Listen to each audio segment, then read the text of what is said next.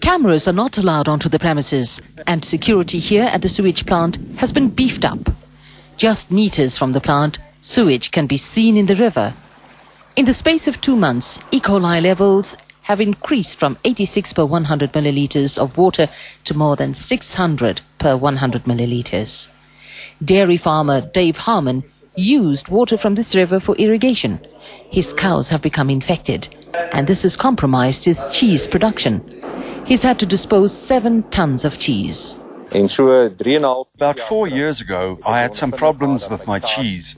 I sent it to be tested, and it was found that there was some E. coli in the cheese. Tobacco and vegetable farms have also been affected.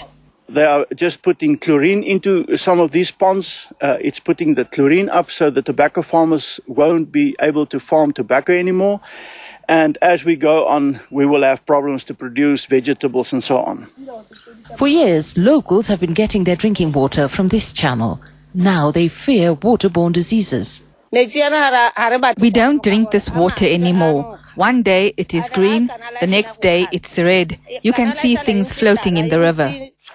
The town of Groot Marico has no sewage plant. Sewage is supposed to be taken to the Zeerust works by truck, but instead it is dumped into the veld. The Ngaka Modiri Molema district municipality initially agreed to an interview with the SABC, but they later retracted and are now refusing to comment.